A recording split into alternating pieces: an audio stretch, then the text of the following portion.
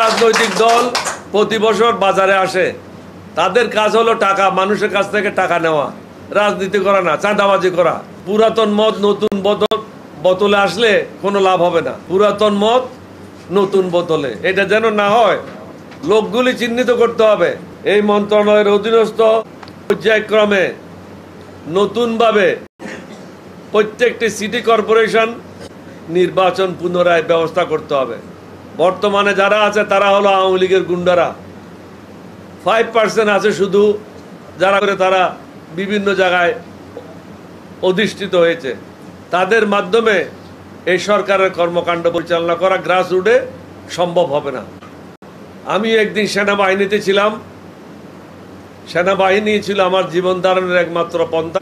গণহত্যাকারী, টাকা লুণ্ঠনকারী, দুর্নীতিবাজ সাবেক মন্ত্রী, এমপি বা নেতা যারা বিভিন্ন সেনানিবাসে আশ্রয় নিয়েছে বা লুকিয়ে আছে, তাদেরকে আয়না করে রেখে স্বরাষ্ট্র মন্ত্রণালয়কে অবহিত করতে হবে। কারণ তারাই আমাদের জন্য আয়নাগর করেছিল। এখন তাদেরকে আয়নাগর রেখে আয়নাগর কীরকম লাগে শ্বশুর বাড়ি এটা তাদের দেখা উচিত।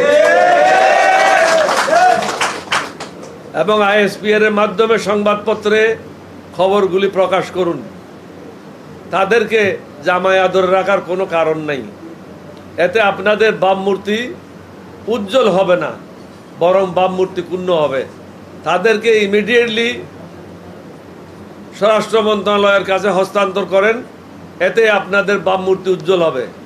বিগত দিনগুলিতে আপনাদের হারানো বাম মূর্তি আপনারা অনেক উজ্জ্বল করেছেন। পুনরায় উজ্জ্বল করার ব্যবস্থা গ্রহণ করুন। খামের এত দাগ হয় কীভাবে? এই যে ভাবি দাগও যাবে রাগও যাবে। নিন চাকা সুপার হোয়াইট এছাড়াও গুরুত্বপূর্ণ বিষয় হত্যাকারী তাদের বিরুদ্ধে যে ব্যবস্থা নেবেন যে আশ্রয় দেবে তার বিরুদ্ধেও অনুরূপ ব্যবস্থা গ্রহণ করা এলডিবির কাজ হলো জাতিকে একটা গাইডেন্স দেওয়া। নতুন সরকার আবাদ। আসসালামু আলাইকুম ও রহমতুল্লাহ বরকাত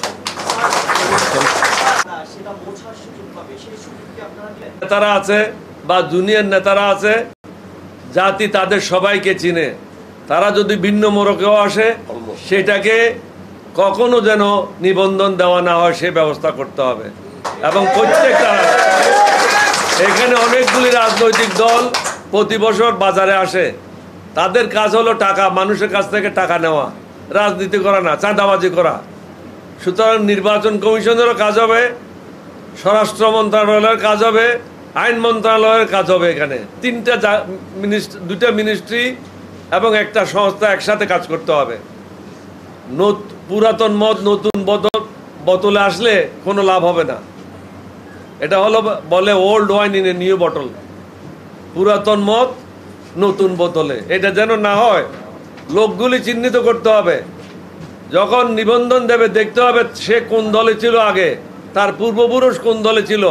এটা যাচাই বাছাই করলে এই সন্ত্রাসীরা ধরা পড়বে এবং তাদের নিবন্ধন দেওয়া হবে।